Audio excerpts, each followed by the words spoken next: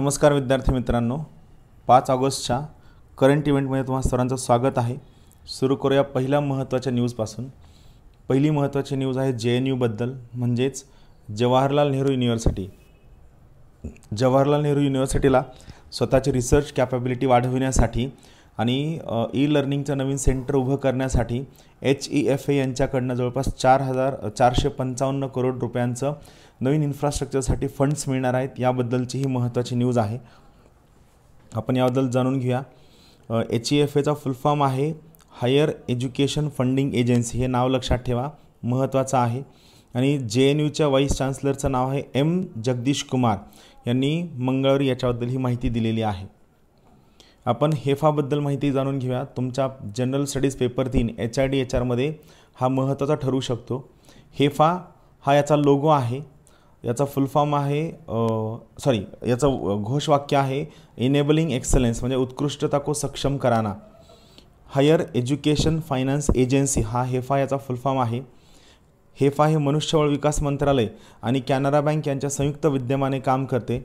I I Ts त्यानंतर triple I Ts N I Ts I I S C यांची आर्थिक भांडवली खर्चाद्वारे जागतिक स्तरावर अव्वल रँकिंग संस्थांमध्ये विकसित करण्याच्या उद्दिष्टासाठी हेफा या प्रकारचं फंडिंग करते व ज्यामार्फत जास्तीत जास्त संस्थांना पैसे देण्याचा प्रयत्न करते. शैक्षणिक पायाभूत सुविधा विशेषतः रिसर्च आणि डेव्हलपमेंटच्या पायाभूत सुविधांसाठी व इमारतीसाठी हेफा फंडिंग करते. आपण जे एन यूबद्दल पाहूया. हा जे एन यूचा लोगो आहे. माहीत असणं प्रत्येकाला अपेक्षित आहे. जवाहरलाल नेहरू विद्यापीठ म्हणजेच जवाहरलाल नेहरू युनिव्हर्सिटी याची स्थापना एकोणीसशे एकोणसत्तरला करण्यात आली. कुलगुरू मामिदाला जगदीश कुमार आहेत. इन्स्टिट्यूटची रँकिंग जर पाहायला गेलं तर आठवी रँकिंग आहे by national institutional ranking framework परिवार पहचान प्रमाणपत्र फॅमिली कार्ड हे हरियाणा गव्हर्नमेंटनं दिलेलं आहे. हरियाणामध्ये प्रत्येक परिवारासाठी हे या प्रकारचं फॅमिली कार्ड बनणार आहे याची घोषणा आत्ता रिसेंटली मनोहरलाल खट्टर या या हरियाणाच्या मुख्यमंत्र्यांनी केलेली आहे. त्यांचं म्हणणं आहे की हरियाणाच्या सर्व वेलफेअर स्कीम्स आहेत. या सर्व वेलफेअर स्कीम्स या परिवार पहचानपत्राला लिंक केल्या जातील व यामध्ये सर्व वेलफेअर स्कीम लिंक केल्या जातील ज्यामार्फत या योजना तिथपर्यंत पोचविणं त्यांना फायदा करून देणं. व जर हा फायदा होत असेल तर करप्शन कमी करणं रेट टेपिझम कमी करणं व यासोबतच खाजगी क्षेत्राची भागीदारी या सर्व सरकारी वेलफेअर स्कीममध्ये वाढविणं हे या परिवार पहचानपत्राचं सगळ्यात महत्त्वाचं उद्दिष्ट आहे. या प्रकारचा घेतलेला हा इनिशिएटिव्ह हा पब्लिक प्रायव्हेट पार्टनरशिप जो तुमच्या general studies paper four M P S C व सोबतच जनरल स्टडीज पेपर तीन यू पी एस सीचा सुद्धा भाग आहे जो पब्लिक प्रायव्हेट पार्टनरशिपच्या अंडर येतो. ही केस स्टडी लक्षात ठेवा. यावर प्रश्न नक्की विचारला जाऊ शकतो. परिवार पहचानपत्र ही हरियाणा सरकारची महत्त्वाची योजना आहे. उद्देश आहे हरियाणामधील सर्व कुटुंबांचा इथं लक्षात ठेवा सर्व कुटुंबांचा विश्वासार्ह डेटाबेस तयार करणे व सर्व कल्याणकारी योजना त्याच्याशी जोडल्या जातील जेणेकरून प्रत्येक कुटुंबाला सर्व सरकारी योजनांचा त्यांच्या योग्यतेनुसार लाभ मिळू शकेल असं या कार्डचं उद्दिष्ट आहे. पुढची युनेस्कोबद्दल न्यूज आहे. Twenty four million may drop out of school due to pandemic असं युनायटेड नेशनचं म्हणणं आहे. युनेस्कोच्या रिसेंट रिपोर्टमध्ये असं म्हणलेलं आहे. हिंदूमधली एक ही महत्त्वाची न्यूज आहे. मागेसुद्धा याबद्दल आपण पाहितलं होतं की जवळपास खूप सगळ्या मुलींचे कमी वयामध्ये लग्न करत आहेत व सोबतच त्यांना लवकरात लवकर शाळेतून बाहेर काढत आहेत. Girls are likely to be disproportionately affected due to this pandemic हा खूप चिंतेची बाब आहे. आपण युनेस्कोबद्दल माहिती जाणून घ्या. United Nations educational social and cultural organization म्हणजेच संयुक्त राष्ट्र शैक्षणिक वैज्ञानिक व सांस्कृतिक संस्था आहे. याची स्थापना सोळा नोव्हेंबर एकोणीसशे पंचेचाळीसला करण्यात आली. मुख्यालय पॅरिस इथं आहे. ही संयुक्त राष्ट्राची एक विशेषीकृत संस्था आहे. शिक्षण विज्ञान व संस्कृतीमधील आंतरराष्ट्रीय सहयोग वाढवून जगामध्ये शांतता व सुरक्षा कायम करण्याचे कार्य युनेस्को पार पाडते. पुढची महत्त्वाची न्यूज आहे नॅस्कॉमबद्दल U S orders a federal hiring based on misperceptions NASSCOM cites high vacancies in I T to counter move on H one B visa Trump ॲडमिनिस्ट्रेशननं जो एच वन बी व्हिजा आणि एज्युकेशनसाठी असणारा विजा बंद केल्यानंतर यावर खूप मोठ्या प्रमाणामध्ये अमेरिकेत लीगल बॅटल सुरू आहेत. ज्याच्यामध्ये नॅस्कॉमनं आय टी सेक्टरमध्ये असणाऱ्या ज्या वॅकेन्सीज आहेत या खूप मोठ्या प्रमाणात अमेरिकन इंडस्ट्री व सोबतच जागतिक व्यापाराला अफेक्ट करू शकतात असं सांगितलेलं आहे. याबद्दल एक महत्त्वाची गोष्ट आहे. आपण नॅस्कॉमबद्दल माहिती जाणून घ्या. National association of software and services companies ही भारतीय माहिती तंत्रज्ञान आणि व्यवसाय प्रक्रिया उद्योगांची एक व्यापार संघटना आहे आय टी आणि बी पी ओमधील नॉन प्रॉफिट ऑर्गनायझेशन आहे. स्थापना एकोणीसशे अठ्ठ्याऐंशीला करण्यात आली. सध्या याचे अध्यक्ष यू बी प्रवीणराव आहेत. मुख्यालय दिल्ली इथं आहे. पुढची महत्त्वाची गोष्ट आहे T व्हीबद्दल droplet from a cough or sneeze by an infected person हे समोरच्या व्यक्तीला कसं इन्फेक्ट करू शकतात आणि त्यानंतर त्याच्या लंग्समध्ये कसा टी बी स्प्रेड होऊ शकतो त्याच्याबद्दलची ही महत्त्वाची न्यूज आहे. टी बी हा मायकोबॅक्टेरियम ट्युबरक्युलॉसिस या बॅक्टेरियाच्या मार्फत होतं. In first six months of this year T B notification drops by around three point four lakh म्हणजे पहिल्या सहा महिन्यामध्ये जवळपास तीन पॉईंट चार लाखांनी भारतातील टीबीच्या टी बीच्या नोटिफिकेशनच्या केसेस कमी झालेल्या आहेत. आता यामागे दोन कारणं असू शकतात. एकतर टी बीच कमी झालेला आहे किंवा दुसरं कारण असं असू शकतं की कुठंतरी लोक टी व्हीच्या केसेस सांगण्यासाठी समोर धजावत नाहीत त्यांना असं वाटतं की आपल्याला क्वारंटाईन केलं जाते तुमच्या लक्षातही आलं असेल की खूप सगळ्या लोकांनी क्वारंटाईनच्या भीतीपोटी स्वतःच्या टी व्हीच्या केसेस व इतर सर्व मोठे आजार लपवलेले आहेत. हे एक थोडंसं चिंतेची बाब असू शकते. क्षयरोग म्हणजे टी व्ही ज्याला आपण ट्युबर क्युलॉसिससुद्धा म्हणतो हा जीवाणूजन्य म्हणजे बॅक्टेरियामार्फत पसरणारा आजार आहे. सामान्यतः या आजाराला ट्युबर क्युलॉसिस म्हणून ओळखले जाते. हा आजार मायकोबॅक्टेरिया ट्युबरक्युलाय या प्रकारच्या बॅक्टेरियामुळं होतो. यातील मुख्यत्वे मायकोबॅक्टेरियम ट्युबरक्युलॉसिस या प्रकारामुळं माणसाला क्षयरोग म्हणजे टी बी होतो. यात मुख्यतः पंच्याहत्तर टक्के रुग्णांमध्ये लंग्सला म्हणजे फुफ्फुसांना अफेक्ट होतो. अठराशे ब्याऐंशीमध्ये डॉक्टर रॉबर्ट कॉक यांनी क्षयरोगाच्या जीवाणूंचा शोध लावला. चोवीस मार्च हा जागतिक क्षयरोग दिन म्हणून साजरा केला हा जागतिक क्षयरोग दिन आहे. लक्षणे आहेत दीर्घकालीन खोकला श्वास घेण्यात अडचण वजन कमी होणे भूक न लागणे रात्रीत घाम येणे आणि थकवा. Pak map claims Jammu Kashmir Ladakh part of Gujarat India calls it a political absurdity तुम्हाला रिसेंटली लक्षात आलं असेल की पाकिस्तानने स्वतःच्या वेबसाईटवरती व गव्हर्नमेंट पोर्टलवरती त्यांचा नवीन पॉलिटिकल मॅप प्रकाशित केलेला आहे. या नवीन पॉलिटिकल मॅपमध्ये ते जम्मू काश्मीरला लडाखला व गुजरातमधील काही महत्त्वाच्या जिल्ह्यांना स्वतःची टेरिटरी म्हणून दाखवत आहे. याला भारत सरकारने ही पॉलिटिकल ॲब्सर्डिटी म्हणून नाकारलेलं आहे. हा पाकिस्तानकडून प्रकाशित केलेला नवीन नकाशा आहे ज्यामध्ये ते भारतामधील खूप सगळा प्रदेश स्वतःचा प्रदेश म्हणून क्लेम करतात. अठरा जुलै एकोणीसशे सत्तेचाळीस रोजी भारतीय स्वातंत्र्याचा कायदा संमत झाला. हिंदुस्थानामधील त्यावेळेसच्या संस्थानिकांची संख्या पाचशे बासष्ट एवढी होती. पंधरा ऑगस्ट एकोणीसशे सत्तेचाळीसपर्यंत जुनागड हैदराबाद व काश्मीरचा अपवाद वगळता सर्व संस्थानांचे भारतीय संघराज्यात विलिनीकरण झालेले होते. जुनागड विलिनीकरण सौराष्ट्राच्या किनाऱ्यावरती भारतीय भूभागाने म्हणजे लँडलॉक्ड असलेले व पाकिस्तानशी भौगोलिक सलगता म्हणजे जॉग्राफिकल कंटिन्युटी असणारे नसणारे हे संस्थान आहे. याचे नवाब महाबत खान होते. क्षेत्रफळ तीस हजार तीनशे सदुसष्ट स्क्वेअर किलोमीटर होते. ऐंशी टक्के हिंदू तर वीस टक्के प्रजा मुस्लिम होती. पंधरा ऑगस्ट एकोणीसशे सत्तेचाळीसला जुनागड संस्थान पाकिस्तानमध्ये सामील होत असल्याचं जाहीर करण्यात आलं.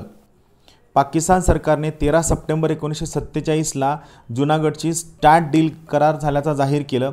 जनतेने नवाबाच्या विरोधात आंदोलन केलं. भारत सरकारने चोवीस सप्टेंबर एकोणीसशे सत्तेचाळीसला जुनागडमध्ये लष्करी कारवाई केली. यानंतर श्यामलदास गांधी यांच्या नेतृत्वाखाली काठियावाड जनता आघाडी व हंगामी सरकारची स्थापना करण्यात आली. फेब्रुवारी एकोणीसशे अठ्ठेचाळीसमध्ये जुनागडमध्ये सार्वमत घेऊन जुनागड संस्थानाच्या भारतामध्ये विलिनीकरण करण्यात आले. रिसेंटली पाकिस्तानने याला क्लेम केलेले आहे. पुढची न्यूज आहे how P N G R V proposal aims to open up gas distribution sector for third parties एक इंटरेस्टिंग आहे बेसिकली यामार्फत खूप सगळ्या सिटी गॅस डिस्ट्रीब्युशन नेटवर्क जे सी जी डी एन आहे हे थोडं चांगलं होऊ शकतं. व सोबतच कंपन्यामध्ये सून फेस कॉम्पिटिशन ज्यामध्ये पेट्रोलियम आणि नॅचरल गॅसच्या किमती कमी होऊ शकतात. यासाठी petroleum and natural gas regulatory board हे नोटिफाय करणं आवश्यक असतं. P N G R B हा त्यांचा लोगो आहे. आपण पी एन जी आर बीबद्दल महत्त्वाची माहिती जाणून घेऊयात. Petroleum and natural gas regulatory board हे पेट्रोलियम आणि नैसर्गिक गॅस नियामक मंडळ अधिनियम दोन हजार सहाच्या अंतर्गत स्थापन केलेलं आहे. वैधानिक संस्था आहे म्हणजे स्टॅच्युटरी संस्था आहे. अध्यक्ष डी के शराफ आहेत. प्राथमिक कार्य तेल शुद्धीकरण वाहतूक वितरण साठवण विपणन पेट्रोलियम पदार्थांचा पुरवठा विक्री आणि नैसर्गिक वायू यांचे नियमन करणे आहे. Great grandson of frontier Gandhi moves high court seeks appointment as arms guardian in India. यामध्ये यांचं नाव मशाल खान आहे. आपण या न्यूजबद्दल जास्त महत्त्वाचं नाही आहे आपण खान अब्दुल गफार खान यांच्याबद्दल माहिती जाणून घ्या. या खान अब्दुल गफार खान यांचा जन्म सहा फेब्रुवारी अठराशे नव्वदला झाला. ते वायव्य सरहद प्रांतातील स्वातंत्र्य सेनानी होते. सरहद्द गांधी व बादशाह खान या नावाने ते प्रसिद्ध आहेत. भारतरत्न पुरस्कार मिळालेले हे पहिले अभारतीय आहेत. एकोणीसशे एकोणतीसमध्ये त्यांनी खुदाई खिदमतगार नावाची संघटना उभारली. ही संघटना सुर्खपोश या नावाने देखील ओळखली जाते. हे ऑल्टरनेटिव्ह नाव लक्षात ठेवा ज्यावर प्रश्न विचारला जाऊ शकतो. ब्रिटिश इंडियामध्ये त्यांना फ्रंटियर गांधी या नावाने संबोधले जायचे. विभाजनानंतर त्यांनी पाकिस्तानसोबत राहण्याचा निर्णय घेतला. बेसिकली त्यांनी पाकिस्तानसोबत राहण्याचा निर्णय नाही घेतला. जॉग्राफिकल कंटिन्युटी नसल्यामुळं त्यांना पाकिस्तानसोबत राहावं लागलं. समृद्ध खानदेशामध्ये पतंगाच्या तीनशे प्रजाती आहेत. त्याबद्दल ही महत्त्वाची न्यूज आहे. आपण याबद्दल जास्त गोष्टी जाणून घेऊया. राष्ट्रीय पतंग सप्ताह सुरुवात दोन हजार बाराला झाली. फुलपाखराशी मिळत्या जुळत्या असणाऱ्या लेपिडॉप्टेरॉन किडींचा अभ्यास आणि नोंद करण्यासाठी जगभरातील नागरिकांकडून हा साजरा केला जातो. जुलैच्या शेवटच्या आठवड्यामध्ये हा वार्षिक कार्यक्रम आयोजित केला जातो. पतंग रात्रीच्या वेळी दिव्याकडे आकर्षित होणारा एक महत्त्वाचा कीटक आहे. पतंग आणि फुलपाखरे एकाच जीनसमधली आहेत. पतंगांचा समावेश संधिपाद संघाच्या कीटक वर्गातील खवलेपंखी म्हणजे लेपिडोप्टेरा गणात होतो. जगात पतंगाच्या सुमारे एक लाख साठ हजार जाती असून फुलपाखरांच्या जातींची संख्या सुमारे सतरा हजार पाचशे आहे. महाराष्ट्रात पतंगाची विविधता आणि संख्या फुलपाखरांपेक्षा जास्त आहे. बहुतेक पतंग हे निशाचर असतात. पुण्यात आज ऑरेंज अलर्ट आहे. मुसळधार पावसामुळे या प्रकारचा अलर्ट दिला जातो. हे काही प्रकारचे अलर्ट आहेत. Green alert yellow alert orange alert आणि रेड अलर्ट या प्रकारचे अलर्ट आहेत. यामुळं काय काय परिणाम होऊ शकतो? दृश्यमानता कमी होईल रस्ते निसरडे होतील नदीकाठच्या सकल भागात पाणी साठण्याची शक्यता आहे रस्त्याच्या कडेच्या झाडाच्या फांद्या पडण्याची शक्यता आहे झाडे उन्मळून पडू शकतात डोंगराळ भागात दरडी पडण्याचा सुद्धा धोका आहे. आपण हवामान अलर्टबद्दल पाहूया. या प्रकारचा हवामान अलर्ट हे भारतीय हवामान खात्याकडून दिलं जातं. रेड अलर्ट मोठे नुकसान रेड अलर्टच्या वेळी होण्याची शक्यता वर्तविली जाते. ऑरेंज अलर्ट नैसर्गिक आपत्ती कोणत्याही क्षणी येऊ शकते हे सूचित करण्यासाठी ऑरेंज अलर्ट जारी केलं जातं. येल्लो अलर्ट हवामानातील बदलामुळे येत्या काही दिवसांमध्ये नैसर्गिक संकट ओढवू शकते दैनंदिन कामं रखडू शकतात. यामुळे येल्लो अलर्ट हे सावधगिरी बाळगण्याच्या हेतूने जारी करण्यात येते. ग्रीन अलर्ट सर्वसामान्य परिस्थितीमध्ये ग्रीन अलर्ट हा असतो. कोणतेही संकट नाही परिस्थिती नियंत्रणात आहे असा ग्रीन अलर्टचा अर्थ असतो. खापरखेडा वीज केंद्रातील पाचही संच सुरू झालेले आहेत. सात कंत्राटी कामगार गृहविलगीकरणात आहेत. खापरखेडा केंद्रात जवळपास दोनशे दहा मेगावॅट क्षमतेचे चार संच व पाचशे मेगावॅट क्षमतेचा एक संच आहे. असं एकूण तेराशे चाळीस मेगावॅटचे पाचही संच सध्या काम करत आहेत. खापरखेडा औष्णिक ऊर्जा प्रकल्पाबद्दल माहिती जाणून घ्या. खापरखेडा औष्णिक ऊर्जा प्रकल्प हा नागपूर जिल्ह्यामधील आहे. महाजनकोचा कोळशावर आधारित असणारा हा महत्त्वाचा ऊर्जा प्रकल्प आहे. वेस्टर्न कोलफिल्डच्या सावनेर आणि डुमरी खुर्द खाणीमधून या प्रकल्पांना कोळसा उपलब्ध केला जातो. प्रकल्पाला लागणाऱ्या पाण्याची आवश्यकता पेंच जलाशयामधून भागवली जाते. प्रकल्पात चार युनिट्स आहेत ज्यांची वीज निर्मितीची एकूण क्षमता आठशे चाळीस मेगावॅट इतकी आहे. औष्णिक विद्युत केंद्र कोळसा जाळून त्याद्वारे मिळणाऱ्या उष्णतेवर पाणी तापवून त्याच्या वाफेवरती जनत्र म्हणजे जनरेटर फिरून वीज बनविण्यात येते. महाराष्ट्रातील काही महत्त्वाच्या औष्णिक विद्युत प्रकल्पांची नावं सांगतो. पारस अकोला जिल्हा भुसावळ जळ भुसावळ कोराडी नागपूर डहाणू ठाणे एकलहरे नाशिक परळी वैजनाथ बीड खापरखेडा नागपूर चंद्रपूर दाभोळ तुर्भे मुंबई. यानंतर दोंडाईचा हा जिल्हे दोंडाईचा हे धुळे येथे असणारे एक महत्त्वाचं औद्योगिक औष्णिक विद्युत केंद्र प्रस्तावित आहे. गुजरातमध्ये गोबर गॅस सी एन जीमध्ये बदलण्याचा देशातील पहिला प्रकल्प राबविला जाणार आहे. बाजारभावाने आता सी एन जी मिळणार आहे. एक रुपये किलो दराने विकत घेणार शेण चाळीस हजार किलो शेण आजही दररोज लागते. ही खूप महत्त्वाची न्यूज आहे. याबद्दल तुम्ही केस स्टडी टाकू शकता. बायोगॅस गोबर गॅस हा बायोगॅसच आहे. हा जैविक प्रक्रियांमधून बाहेर पडणारा वायू आहे. जर एखादी जैविक प्रक्रिया ऑक्सिजन विरहित म्हणजे अनएरोबिक वातावरणात झाली तर त्यामधून बायोगॅसची निर्मिती होते. यामध्ये साधारणपणे पंचावन्न ते साठ टक्के मिथेन प्रमाणेच असते. उर्वरित भाग मात्र कार्बन डायऑक्साईडचा असतो. मिथेन हा ज्वलनशील असल्याने बायोगॅस पण ज्वलनशील बनतो. सी एन जीबद्दल माहिती जाणून घ्या सी एन जीचा फुल फॉर्म आहे कॉम्प्रेस्ड नॅचरल गॅस हे एक वायुरूप इंधन आहे. एक टक्क्यांपेक्षा कमी मिथेन असते. नैसर्गिक वायूवर दाब देऊन सी एन जी तयार केला जातो. यात कार्बनचे प्रमाण कमी आहे. याच्या ज्वलनातून carbon monoxide carbon dioxide nitrous oxide यासारखे हरितगृह वायू कमी प्रमाणात निर्माण होतात. यामुळं हा गॅस क्लीन फ्युएल म्हणून ओळखला जातो. रंगकर्मीचे निर्माते इब्राहिम अलकाझी यांचे निधन झालेले आहे. त्यांच्याबद्दल आपण माहिती जाणून घेऊया. इब्राहिम अलकाझी जन्म ऑक्टोबर एकोणीसशे पंचवीस पुणे येथील आहे. भारतीय नाटक दिग्दर्शक आणि नाट्य शिक्षक होते. बासष्ट ते सत्याहत्तर ते नॅशनल स्कूल ऑफ ड्रामाचे संचालक होते. पुरस्कार संगीत नाटक अकादमी पुरस्कार पद्मश्री संगीत नाटक अकादमी फेलोशिप पद्मभूषण पुरस्कार पद्मविभूषण पुरस्कार कालिदास सन्मानाने त्यांचा पुरस्कार करण्यात आलेला आहे. आजची टेस्ट आपण सुरू करूया. आज आपण छप्पन्नावी टेस्ट सोडविणार आहोत.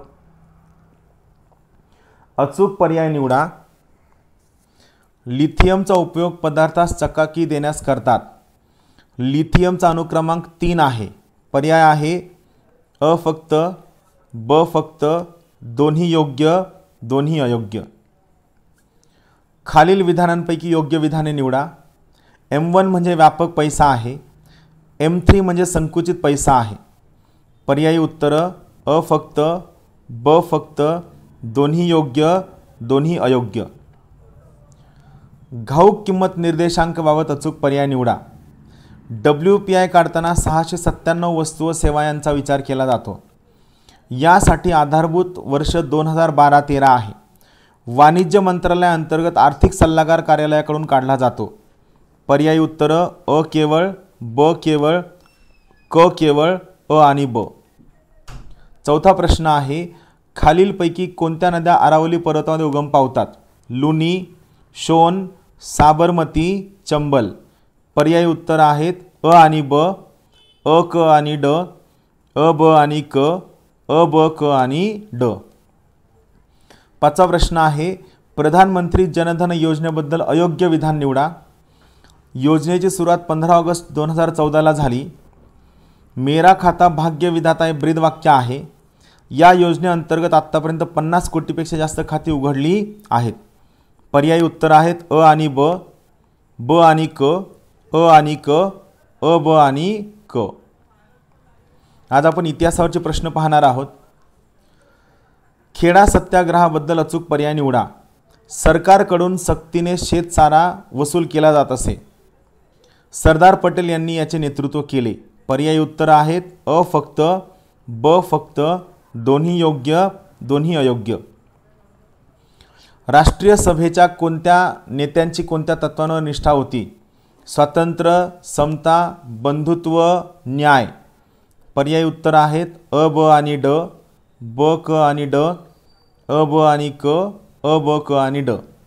आठवा प्रश्न आहे महाराष्ट्रात खालीलपैकी कोणत्या ठिकाणी जंगल सत्याग्रह झाले? बिलाशी संगमनेर कळवण चिरनेर. पर्याय आहेत अ आणि ब. ब आणि क. अ आणि क. आणि चौथा आहे अ ब क आणि ड. नववा प्रश्न आहे खालीलपैकी कोणाला मवाळ म्हणता येणार नाही? गोपाळकृष्ण गोखले बिपिनचंद्र पाल फिरोज शहा मेहता सुरेंद्रनाथ बॅनर्जी. आणि शेवटचा प्रश्न आहे एकोणीसशे चौतीस साली स्थापन झालेल्या समाजवादी पक्षाचे खालीलपैकी कोण नेते नव्हते?